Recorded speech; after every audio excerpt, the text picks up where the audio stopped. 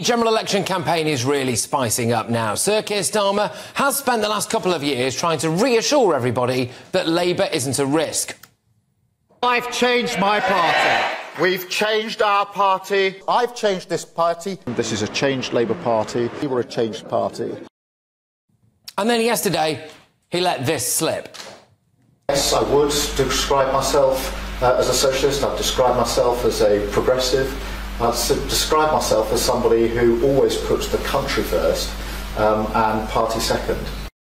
Well, there appeared to be an immediate attempt to row back on the first bit of what he said there, describing himself as a socialist. Shadow Chancellor Rachel Reeves said this um, I've always called myself a, a, social democrat, and what I mean by that is that I believe that children from whatever background they come from should get an equal start in life to the opportunities that our country offers.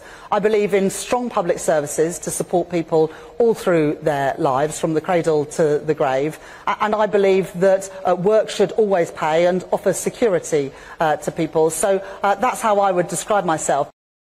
But if Sir Keir Starmer is to be believed, i.e., he is a socialist, and if he was elected, Britain would presumably become a socialist country, then the big question has to be this Does Britain really want socialism? Do we want to be a socialist country? The polls appear to suggest yes, we do. Most of the latest polling data puts Labour 23 points ahead. But what might socialism look like under Labour? Well, Labour has just been endorsed by 121 business bosses, which is a massive boost for them. If businesses don't fear socialist Starmer, then that's good for Labour. I will just caveat that slightly by saying that they've had to retract some of those in the last couple of hours, but still, the majority of that still stands. But there is a fear that Sir Keir Starmer would be in the pocket of the unions. One of Labour's biggest union donors, Unite, said Labour's plans for workers' rights had more holes than a Swiss cheese. What does that mean going forward? What would strike action look like? There is the other potential concern that modern British socialism means being aggressively pro Palestine. The Socialist Workers' Party is all over these Palestine marches. Keir Starmer has said that he wants to recognise Palestine as a state, and there's this clip of Deputy Leader Angela Rayner appearing to grovel to a room full of pro Palestine men.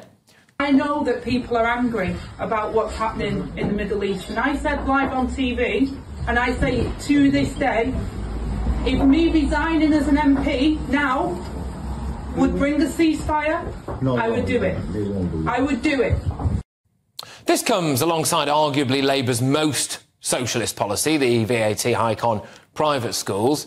There are calls for them to U-turn after a survey today claimed around 224,000 private pupils could leave as a result of the plans, double the previous estimate. What impact will that have on state schools? So, the question still stands, doesn't it? Does Britain want to be a socialist country?